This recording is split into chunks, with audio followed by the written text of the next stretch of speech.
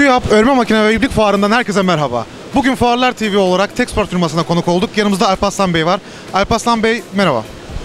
Merhaba, hoş geldiniz. Hoş bulduk, çok teşekkürler, sağ olun. E, sizleri ve firmanızı tanıyabilir miyiz?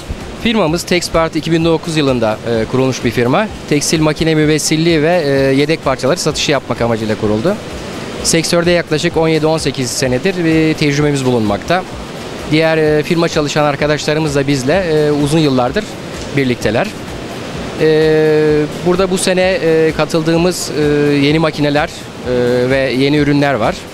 Ee, Burada Longshin firmasının e, Çin'deki en büyük üreticilerden olan e, triko makine üreticisinin e, yeni ürünlerini sergilemekteyiz.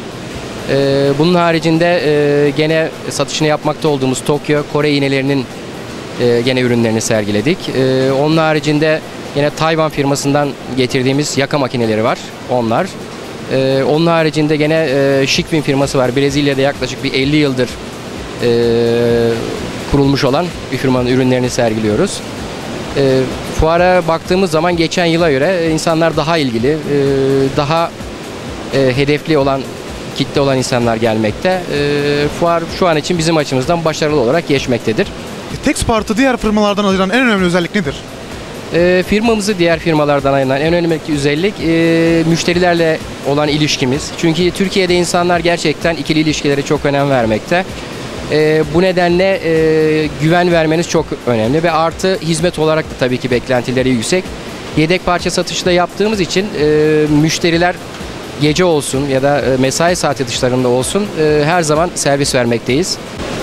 E, Alparslan Bey, e, geleceğe yönelik e, Texport'un hedefleri arasında neler vardır? Hedefleriniz, amaçlarınız nelerdir?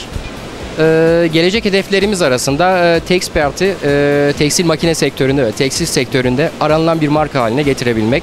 Fuar TV izleyenleri bugün Texport'a konuk olduk. Alparslan Bey bu güzel söyleşi için çok teşekkür ederiz. Biz de teşekkür ederiz buraya geldiğiniz ve bizimle bu sohbeti gerçekleştirdiğiniz için. Sağ olun, çok teşekkürler.